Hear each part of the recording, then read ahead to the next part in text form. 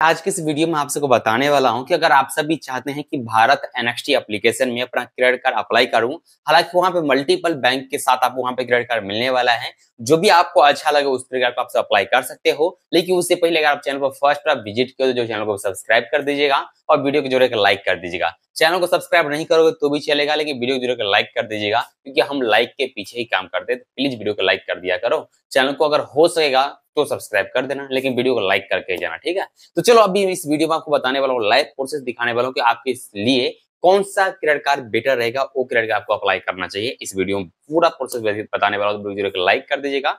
चलो वीडियो को शुरू करते हैं।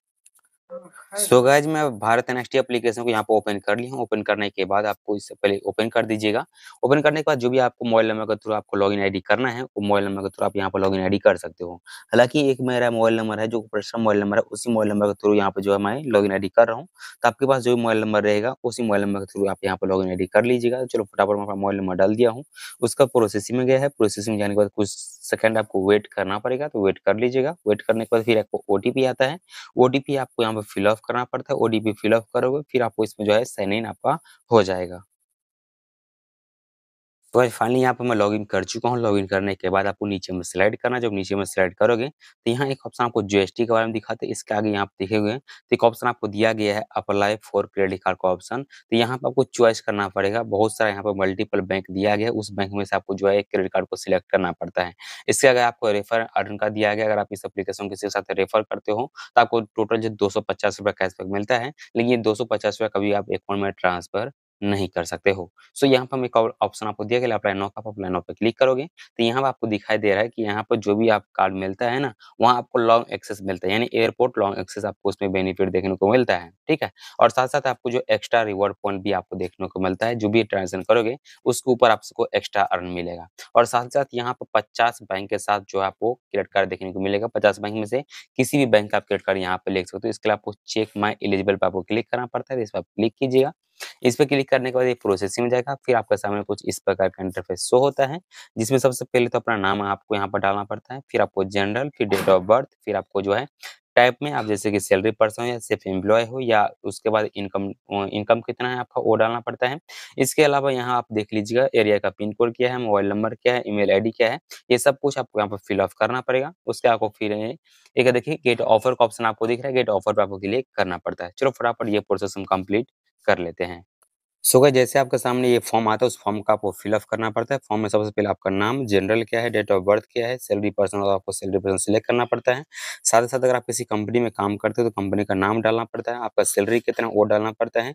एरिया का पिन कोड क्या है, साथ साथ पैन कार्ड नंबर क्या है, मोबाइल नंबर, ईमेल आईडी और साथ साथ इसमें अगर आपके पास इससे पहले कोई किसी भी बैंक का क्रेडिट कार्ड रखे हो तो उस बैंक का नाम यहाँ पे डालना पड़ता है। मेरे पास ऑलरेडी एक क्रेडिट कार्ड है जो कि आईसीआईसी बैंक का है और उसका लिमिट कितना है वो लिमिट भी आपको यहाँ पर डालना पड़ता है। फिर आपको गेट ऑफ़र पे क्लिक करना पड़ता है। सो so, जैसे आप गेट ऑफ़र पे क्लिक करोगे तो अगर आपको यहाँ पर ऑफ़र किया जाता है तो आपको कार्ड यहाँ से अप्लाई कर सकते हो।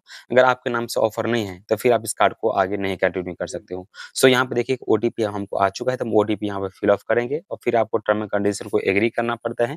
ट्वेंटी सेकंड का टाइमिंग रहता है ट्वेंटी सेकंड के अंदर ही ये काम आपको कंप्लीट करना पड़ता है। अगर आपको ट्वेंटी सेकंड के अंदर काम नहीं होता है तो फिर से आपको रीसेंड ओ करना पड़ेगा। फिर आपको ओ यहाँ पे फिलअप करना पड़ता है। फिर उसके बाद वेरीफाई पे क्लिक करना पड़ता है। चलो हम वेट कर लेते हैं जैसे हमारे ओटीपी आता है। ओटीपी हम यहाँ पे फिलअप करेंगे फिर हम वेरीफाई पे क्लिक कर देते हैं। सो so, अगर आपको किसी कारणवश अगर आपको ओटीपी फ़र्स्ट टाइम नहीं आता है तो यहाँ पर दो ऑप्शन दिया गया। पहला आप जो है सेंड यानी एसएमएस के थ्रू ओटीपी ले सकते हो। दूसरा दिया गया कॉल के थ्रू यानी आप कॉल के थ्रू भी ओटीपी ले सकते हो। ओटीपी टोटल सिक्स जीट का आता है। वो ओटीपी आपको यहाँ पर डाल के वेरीफाई पे क्लिक करना पड़ेगा। सो so गाइज़ मैं यहाँ पर ओटीपी फिल ऑफ़ कर दिया अभी हम वेरीफाई पे क्लिक करता हूँ। वेरीफाई जैसे क्लिक करोगे, उसके बाद ये नेक्स्ट स्टेप पे लेकर चला जाएगा। चलो हम वेट कर लेते हैं, जैसे मेरा वेरीफिकेशन होगा।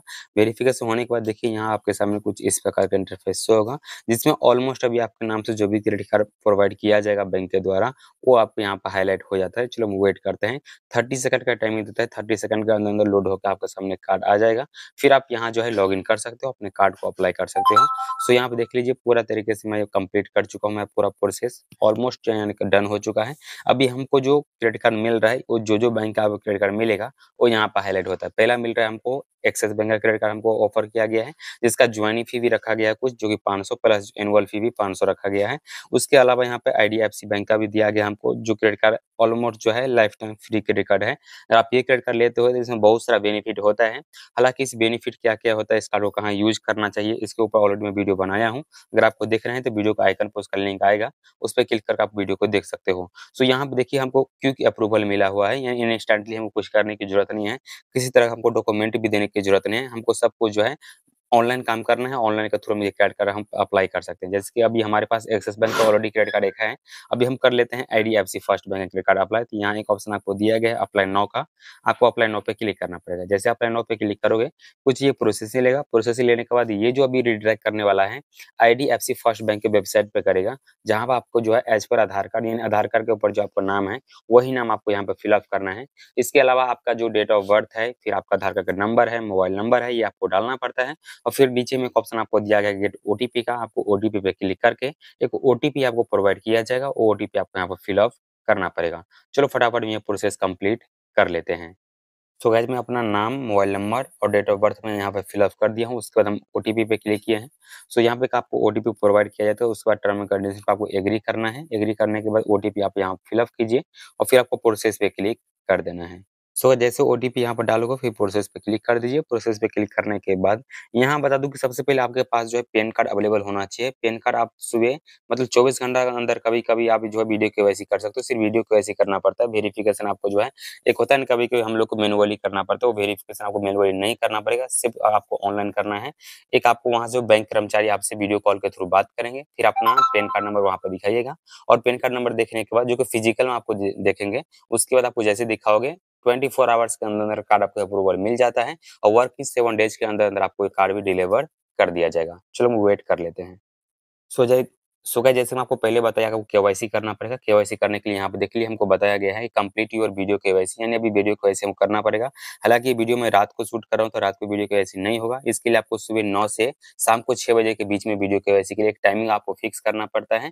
उसी बीच में आपको वीडियो केवाईसी कंप्लीट करना पड़ेगा। हालाँकि वीडियो केवाईसी का वीडियो भी आपको मैं दे दूँगा। तरीके से कार्ड को अप्लाई कर सकते हो। इसके अलावा यहाँ पर कोई वीडियो केवाईसी के लिए टाइमिंग मैं अभी फिक्स करता हूँ, वो टाइमिंग आपको इसी तरह से फिक्स आपको भी करना पड़ेगा। चलो अपना आधार कार्ड नंबर या तो वर्चुअल आईडी आप आधार कार्ड ले सकते हो। वर्चुअल आईडी लेने के लिए आपको आधार कार्ड के वेबसाइट पे जाना पड़ेगा, वहाँ से आप ले सकते हो। अदरवाइज़ अगर आपके पास आधार कार्ड नंबर है अवेलेबल तो आधार कार्ड नंबर आप यहाँ पर डालिए, फिर आप प्रोसेस पे क्लिक कर दीजिए।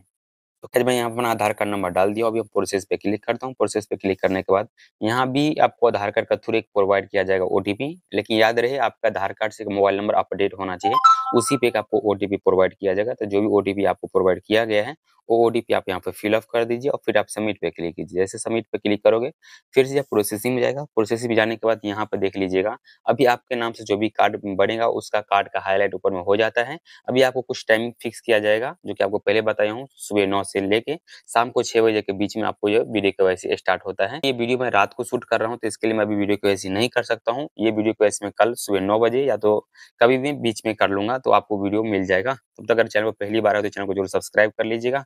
वीडियो अगर अच्छा लगे तो वीडियो को ज़रूर लाइक कर दीजिएगा। मिलते फिर एक नए वीडियो में, तब तक ले जय हिंद, जय भारत।